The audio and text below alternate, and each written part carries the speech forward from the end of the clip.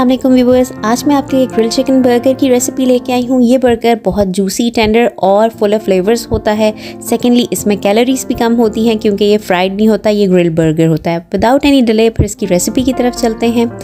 सबसे पहले मैंने हाफ़ चिकन ब्रेस्ट ले ली और उसको एक कपड़े से अच्छी तरह से ड्राई कर लिया। इसको ड्राई करने का मकसद यही होता है कि जो मैरिनेशन हम चिकन को लगाएँगे, वो पानी के साथ बह ना जाए, बल्कि चिकन के साथ अच्छी तरह से स्टिक करे और इसके अंदर फुल अपने फ्लेवर्स दे वो मैरिनेशन। फिर इन चार फिले को हम एक गीले कपड़े में रख के उसके बाद इसको हैमर करेंगे। हैमर करने से ये हर फिले बहुत पतला और बड़े साइज़ का हो जाता है और दूसरा ये जब कुक करते हैं तो प्रॉपरली कुक हो जाता है। फिर इसकी मैरिनेशन चिकन की तैयार कर लेते हैं। इसके लिए हमने एक चाय का चम्मच नमक लेना है। फिर एक चाय का चम्मच काली मिर्च। एक चाय का चम्मच पेपरिका पाउडर फिर आधा चाय का चम्मच लहसुन का पाउडर दो चाय के चम्मच मस्टर्ड पेस्ट जो कि मेन इसका इंग्रेडिएंट होता है, बहुत अच्छी क्वालिटी की मस्टर्ड पेस्ट लेनी है। दो चाय का चम्मच शायर सॉस ले लेनी है और इनको मिक्स कर लेना है। बहुत अच्छे तरीके से इसको मिक्स करना है और अब इसमें चिकन के फिले रख देने हैं और इनको अच्छी तरह से मिक्स करना है ताकि हर चिकन के फिले को मसाला बहुत अच्छी तरह से कोट करे। और आखिर में इस पर एक टीस्पून ऑयल डाल देना है और ये ओवरनाइट आपने फ्रिज में रखने हैं। फिर आपने जो सब्ज़ियाँ डालनी है, उनको काट लेना है। मैंने खीरे और टमाटर और प्याज काटे और खीरों को मैंने सिरके में भिगो दिया ताकि वो जर्किन्स बन जाए। बर्गर सॉस बनाने के लिए आपने चार चाय के चम्मच मेयोनीज ले लेना है। एक चाय का चम्मच अच्छी क्वालिटी का मस्टर्ड पेस्ट ले लेना है। और दो चाय के चम्मच टोमेटो केचप ले लेना है। एक चाय का चम्मच शायर सॉस और दो चाय के चम्मच चिली गार्लिक सॉस ले लेने। एक लीमू इसमें स्क्वीज़ कर देना है।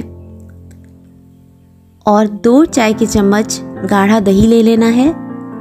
फिर एक चाय का चम्मच चॉप्ड जर्किन्स और आधा चाय का चम्मच पेपरिका पाउडर और आधा चाय का चम्मच काली मिर्च ले लेना है और उसको मिक्स करना है इस तरह कि एक सॉस की शक्ल इख्तियार कर ले।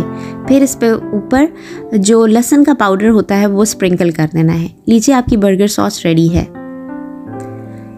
फिर आपने बंस को टोस्ट करना है तवे पे। मक्खन में टोस्ट करें, इससे बहुत अच्छा फ्लेवर आता है। ये तीन मिनट में टोस्ट हो जाते हैं, जिसमें इसका नीचे से गोल्डन ब्राउन सा कलर आ जाता है हर बन का। तो इनको आपने टोस्ट करके साइड पे रख लेना है। फिर एक ग्रिल पैन ले लेना है और उस पर थोड़ा सा ऑयल ड्रॉप्स आपने स्प्रिंकल करने हैं और हर फिले को आपने इस पर स्प्रेड कर देना है। हर फिले का कुकिंग टाइम जो है वो आठ से दस मिनट है और ये तेज़ आग पे बनते हैं। आपने इनकी साइड्स बदल लेनी है और आपके फिले आठ से दस मिनट में पूरी तरह से बर्गर के तैयार हो जाएँगे। फिर आपने इसी पैन पे जो अनियन रिंग्स यानी प्याज के छले काटे हुए हैं, वो इसके ऊपर डाल देंगे और तेज़ आग पे ही इनको पका लेना है। जब वो ज़रा सा नरम हो जाए और उन पर रंग आ जाए तो उसके ऊपर एक चाय का चम्मच आपने चीनी डाल देनी है। उसके बाद इसको अच्छी तरह से फिर से पका लेना है एक मिनट उससे इसकी कैरमलाइजेशन यानी इसमें थोड़ा सा स्वीट सा, मीठा सा टेस्ट आ जाएगा और ये बर्गर के ऊपर डालने के लिए रेडी हो जाएँगे। ग्रिल बर्गर तैयार करने के लिए आपने दोनों बंस के अंदर वाली साइड पे जो बर्गर सॉस है लेविशली स्प्रेड कर देनी है, फिर उस पर सलाद पत्ता रखना है और बाकी की सब्ज़ियाँ जो हैं, वो आपने इस पर दे देनी है और फिर इसके ऊपर जो ग्रिल चिकन का फिले है, वो डाल देना है। फिर से आपने इसके ऊपर बर्गर सॉस स्प्रेड कर देनी है और फिर उस पर जो आपने कैरमलाइज अनियंस बनाए थे, वो डाल देने और फिर जो बन का टॉप है, वो आपने इसके ऊपर दे देना है। लीजिए, आपका बेहतरीन सा चिकन ग्रिल बर्गर रेडी है।